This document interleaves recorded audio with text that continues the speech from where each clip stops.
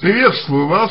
Эм, давайте попробуем разобраться с тем, а, что происходит с вами. Правильно ли а, я вас э, понимаю, что вам э, неприятно смотреть на свою маму, которая занимается сексом с своим мужчиной, с которым она сейчас живет, и неприятно вам это потому, что... А почему вам, собственно, это неприятно? Вот вы их пишете.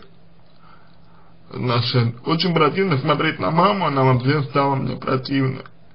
Я не могу видеть, как они занимаются ночью сексом. Но надо сказать, что вообще э, Дети, э, если видят, как родители занимаются сексом, всегда испытывают э, достаточно неловкие эмоции. Потому что, ну, как бы родители, это те люди, которые, по мнению детей, не должны этим заниматься. Вообще. У вас, э, как я понимаю, ситуация осложняется тем, что мама, э, по вашему мнению, предает, наверное, вашего отца и, собственно, этим все усугубляется. Ну, если поговорить про предательство, то можно, можно достаточно подробно разбирать эту тему, а, тему именно предательства. Но давайте для начала просто вот спросим вас, а вот вы сами э, как считаете, э, предает ли э, мама вашего отца, занимаясь э, другим мужчиной сексом?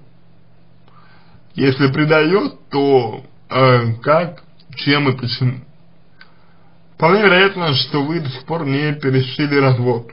То есть развод был, да, когда вам было достаточно мало лет, потом вы жили у бабушки, а с мамой вы в отношениях не были. Соответственно, а, вероятно, сам развод, его факт а, не был вами вообще как-либо проговорен. Если это действительно так, то э, ничего удивительного в вашей реакции тогда нет. Я бы сказал, что нужно просто, ну, во-первых, для себя самой определить, а что мама, э, по вашему мнению, э, должна делать. Ну вот вы против, чтобы она занима, занималась сексом с мужчиной. Хорошо. А, предположим, что вы против. А, а что дальше? А, вы против, а, и как мама, а, что мама должна делать? Не получать удовольствие от жизни, жить неполноценной жизнью ради чего? Почему? Жизнь полноценной жизнью ради вас? Как вы себе это представляете? Просто а, попроб, просто попробуйте вот этот момент для себя а, прояснить.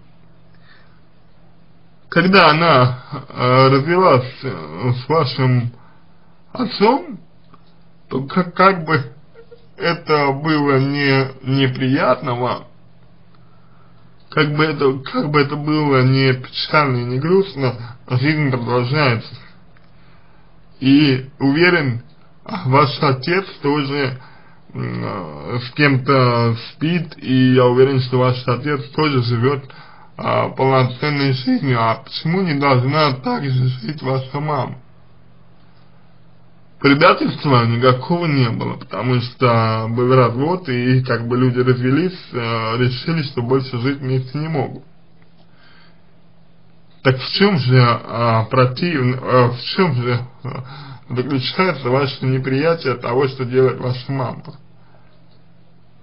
Если вопрос связан э, чисто, ну, как бы, чисто вот э, внешняя сторона, да, то есть вот, просто неприятно, такое бывает, ну, тогда действительно вы э, воспользуетесь тем советом, который дала вам э, эксперт Лидия. Она э, правильно вам сказала, что нужно решить вопрос или значит, отдельного проживания, или как бы сказать маме, что вам неприятно, и чтобы она делала это когда-то в другое время но еще неизвестно, как она воспримет то, что вы ей говорите, потому что, ну, она может сказать типа, что-то типа того, что вы живете у нее дома, и почему она должна подстраиваться под вас.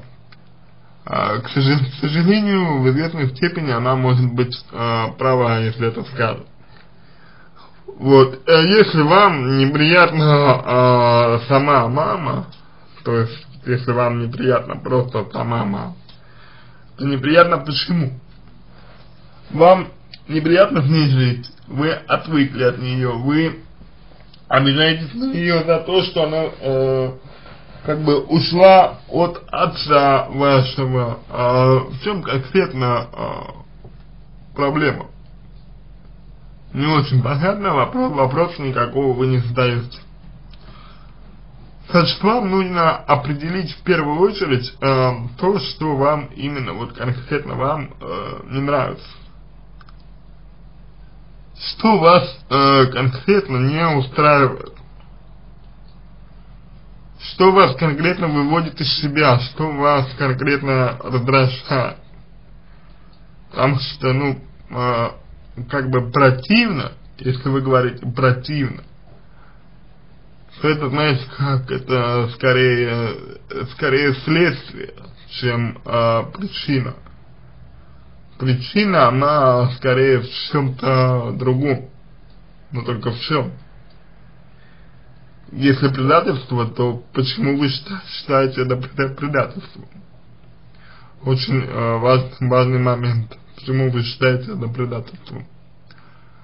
А если что-то еще, то что именно еще? Попробуйте вот это вот сформулировать как-то для, ну, для себя хотя бы. Если сможете, то можно сказать, что часть проблемы будет решена уже. Потому что хотя бы вы будете понимать, откуда растут ноги и куда вам идти. Ну а вообще, э, вам 19 лет уже, и можно, в принципе, подумать о том, чтобы жить отдельно тем, э, от своей мамы. Вопрос, конечно, в том, хотите вы этого или нет, это уже, безусловно, э, другой вопрос отдельный. Но, тем не менее, подумать о нем стоит. На этом все.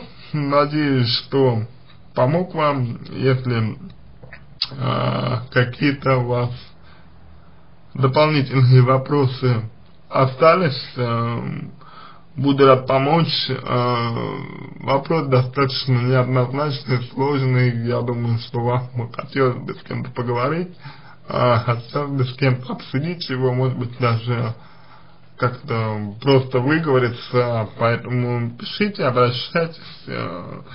Не обязательно ко мне, даже, может быть, к любому эксперту на нашем ресурсе, думаю, каждый захочет вам помочь. А, в общем, пишите, а, если вам понравился мой ответ, а, буду благодарен, если сделаете его лучшим. Желаю вам всего самого доброго и удачи!